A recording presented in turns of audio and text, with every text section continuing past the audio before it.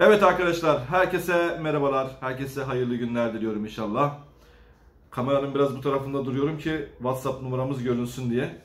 Ee, arkadaşlar 2021 yeni sicil affı dilekçesi hazır arkadaşlar. Şu an itibariyle WhatsApp hattımızdan alabilirsiniz. WhatsApp numaramız 0543 641 61 77. Konuyla ilgili detayları şimdi size vereceğim. Soru sormamanız adına. Sorulara çünkü WhatsApp üzerinden cevap veremiyoruz arkadaşlar. Lütfen bu videoyu sonuna kadar dinle. Dinlemezsen gelirsin WhatsApp'tan yazarsın, soruna cevap alamazsın. Sonra böyle abuk subuk konuşup sağda solda yorumlar yazarsın. O yüzden beni dinlemiyorsun sen. Dinlediğin zaman çözeceksin bu olayı kardeşim. Şimdi anlatıyorum. Şimdi kanun maddemiz burada. Kanun maddemiz değişti. Ee, şimdi madde 13 arkadaşlar. Şurada madde 13'ü görüyorsunuz. Tam görünebiliyor muyuz canım? Madde 13. 22.1.2009 tarihli ve 5834 sayılı karşılıksız çek ve protesto, protestolu senetler ile kredi ve kredi kartı borçlarına ilişkin kayıtların dikkate alınmaması hakkında kanuna aşağıdaki geçici madde ilave eklenmiştir. Geçici madde 3. Ana para veya taksit ödeme tarihi önemli konu burası. 5. ayın 20'si 2021. Yani geçen ayın 20'sine kadar. 5. ayın 20'si 2021 tarihinden önce olup da kullandığı nakdi ve gayri nakdi kredilerin ana para, faiz veya verilerine ilişkin ödemelerini aksatan gerçek ve tüzel kişilerin bazıları diyor ya sadece esnaflara özel diye. Hayır. Ticari faaliyette bulunan ve bulunmayan gerçek kişilerin ve kredi müşterilerinin karşılıksız çıkan çek, protesto edilmiş senet, kredi kartı ve diğer kredi borçlarına ilişkin 5411 sayılı kanunun ek birinci maddesi hükmü uyarınca kurulan Türkiye Bankalar Birliği risk merkezinde tutulan kayıtları söz konusu borçların ödenmesi geciken kısmının 31.12.2021 tarihine kadar tamamının ödenmesi veya yeniden yapılandırılması halinde bu kişilerle yapılan finansal işlemlerde kredi kuruluşları ve finansal kuruluşlar tarafından dikkate alınmaz. Bununla ilgili yapılandırma veya kredi verme konusunda bankalara herhangi bir cezai sorumluluk doğurmuyor arkadaşlar. Ve biz e, bununla ilgili dilekçemizi hazırladık. Şöyle iki sayfa.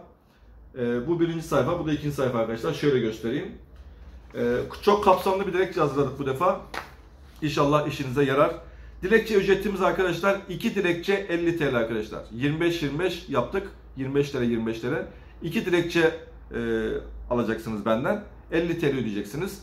E, önceliğiniz hangi banka olsun derseniz ben şahsım olarak İş Bankası'nı öncelikli söylüyorum.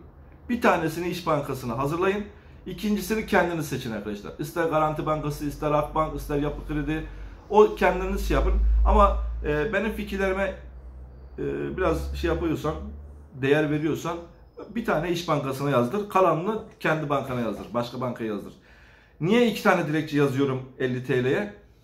İki tane şansınız olsun diye arkadaşlar. İki şansınız olsun diye. Şimdi bir tane dilekçe alıp vatandaş gönderiyor. Bir tane şans oluyor. İki tane gönderirse iki şans olur. Üç tane gönderirse üç tane şans olur. Bu bu şekilde. Ee, burada dilekçenin içerisine 7226 sayılı kanunu ekledik şuraya. Bunun yanına sonra e, bu maddenin devamı kararını e, alındığını bildirdik. Sonra detayları bildirdik. Sonra daha önce e, bankaların e, bazı bankalarımızın bahane ürettiğini Türkiye Büyük Millet Meclisi'nde milletvekillerimiz söylemişti. Onunla ilgili bazı maddeleri bunun içine ekledik ve kanun maddesinde bunun altına ekledik buradan görmeleri için. Şimdi burada biz sizden WhatsApp'tan birkaç bilgi alacak. İsim, soyisim, irtibat numarası vesaire alacağız. Buraları dolduracağız. Şurada bir kısım var. Şurada bir doldurma yapacağız. Sonra siz buraya isim, soyisim, imza atacaksınız. Bu iki sayfayı katlıyorsun. Zarfa koyuyorsun. Zarfın üstüne şurada bankanın adresi yazıyor. Şurada. Bu adresi zarfa yazıyorsun. Bankanın genel müdürlüğüne iadeli ve taahhütlü şekilde gönderiyorsun. Bundan sonra 30 gün içinde sana olumlu veya olumsuz dönüş yapacaktır arkadaşım. Sana bu dilekçe sayesinde kesin kredi çıkar demiyorum. Böyle diyenler engelleniyor. Benim puanım bu çıkar mı? Cevap veremiyoruz. Benim KKB puanım şu çıkar mı? Yok kardeşim ben bunu bilmiyorum. Sen bunu alacaksın, şansını deneyeceksin. Olur veya olmaz bunun kararını verecek olan bankalar arkadaşlar. Kanuna uyacak olan da bankalar, uymayacak olanlar da bankalar. Bundan sonraki koşturma işleri sana kalıyor. Yani bundan sonra ben dilekçeyi verdikten sonra bundan sonraki işler sende arkadaşım. Bizde iş bitiyor. Çünkü ben dilekçe hazırlamışım. Senin de vereceğin bilgiye göre bunu hazırlayacağım. Sana WhatsApp üzerinden göndereceğim. Sen bunu çıktısını alıp göndereceksin. Bundan sonrası sana kalmış. Peki 30 gün içinde sana dönüş yapılmadı diyelim. 30 gün içinde sana dönüş yapılmadı. Sen o zaman BDDK'ya bankayı şikayet edebilirsin kardeşim. Ben dilekçe gönderdim. Bana 30 gün içinde dönüş yapacaktı, yapmadı diye. Veya sen kanuna uyuyorsun, banka bahane üretiyor. Değil mi? O zaman BDDK'ya tekrar yazacaksın. Ben kanuna uyuyorum, banka kanuna uymuyor diye. BDDK dilekçesi bizde yok arkadaşlar. Siz hemen Google'a giriyorsunuz, BDDK şikayet yazıyorsunuz. Başınızdan gelen olayı anlatıyorsunuz oraya. Bu kadar basit. Şimdi dilekçe yazdırmak isteyenler bu videonun açıklama kısmında hem web sitemin adresi var. Sicil affı ile ilgili detaylar orada yazıyor. Hem WhatsApp numaram var. Hem orada bir link var. Linke tıkla. Direkt otomatik WhatsApp'a geçiyorsun. WhatsApp'tan şu an itibariyle yazdırabilirsin kardeşim. Ee, hakkımıza hayırlısı olsun inşallah. Geçen sene e, 2700 değil mi onay? 2700'ü geçtik arkadaşlar. 2700 onaylandı. Bu dilekçeyle de hedefim 5000. 2021'in sonuna kadar 5000'i e, inşallah tutturacağız. E, müşterilerimize söylemek istediğim bir şey var mı Özge? Yani WhatsApp'tan yazarken Son zamanlarda bu dilekçenin ne işe yaradığını soran çok oluyor. dilekçenin ne işe yaradığını soranlar varmış. Arkadaşım eğer kafa karışıklığı varsa Özge asla dilekçe yazmıyorsun. Dilekçeyi göndersem sicilim temizlenir mi? Bunları direkt engelliyorsun. Çünkü bu beni anlamamış, bu beni okumamış. Beni dinlemiyor videomu, anlamıyor ki. Bir tanesi gelmiş bana denetimli serbestliğim silinecek mi diyor. Ya bu olacak iş mi? Bu sicil affı bankalarla ilgili arkadaşlar ve detayı kanuna uyuyorsanız gönderin. Peki e, benim varlık yönetim şirketine borcum var yapılandırsam olur mu? Evet olur. Avukata borcum var ödesem olur mu? Evet olur. Yapılandırma yapsam olur mu avukata? Evet olur. Bankada borcum var yapılandırma yapsam olur mu? Evet olur. Olur. Kanuna uyuyorsun öyle. Ama gönderdikten sonra olur veya olmaz onu bilemem. Yani olumlu olur veya olumsuz olur. Bunu ben bilemem. Bazıları soruyor. Ev kur borcum diyor e, bankaya etkiliyorum diyor. Evet. Ev kurdaki aldığın taksitli ürünler kredi olarak veriliyor size. GSM firmasından icralık olanlar eğer Türksel örnek veriyorum cep telefonu aldınız bu sana kredi olarak veriliyor. Türk Telekom sana kredi olarak veriliyor. Bunlar hepsi banka KKB puanını etkiliyor kardeşim. Çünkü oradan sana kredi çıkartılıyor arkadaşlar. Vodafone'da cihaz almışsan aynı şekilde eğer Vodafone e, bunu KKB puanı üzerinden verdiyse aynı şekilde. Normal fatura ayrı bir şey. Normal icralarınız bankayla bir alakası yok. Vergi borcunuz var. Değil mi? Vergi borcu olup da kredi e, geçen sene dilekçesiyle kredi alanlar var. Maaş hacizi olup da kredi ve kredi kartı alanlar var. Çünkü normal icralık. Hani senetle imza, senetle e, muhatap olmuş. E, bunları görüp de banka inisiyatifinde banka kendisi verebiliyor. Şunu söylüyorum, kanuna uyuyorsunuz ama sizin e, icralarınız var değil mi? Banka bunu görüp bunu bahane üretebilir ama burada banka inisiyatifine kalıyor.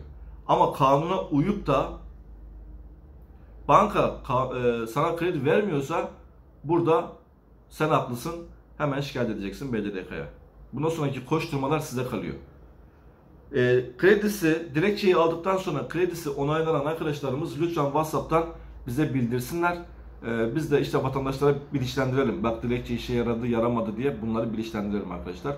Olumlu olursa sadece gönderin. Olumsuz olduktan sonra benim bir işime yaramıyor. Ya da sizin de bir işinize yaramayacak. Olumsuz ol- oldu. Ben sana bunu niye göndereyim? Niye paylaşayım? Sebep ne? Özge Hanım şunu özellikle söylüyorum rica ediyorum senden. Kafa karışıklığı olanlara yazmıyorsun. Adam artık yani kafa karışıklığı var. Bu dilekçe ne işe yarıyor öyle öyle. Asla. Ben detayları burada anlattım kardeşim. İşine yarar veya yaramaz. Dilekçenin içerisinde de yazıyor. Alırsın veya almazsın. Ha bir de şöyle bir şey var. Yani sen illa benden dilekçe almana gerek yok. Kendin de git bir bankaya şubesine başvurunu yap. Ne kadar ilgilenirler bilemem.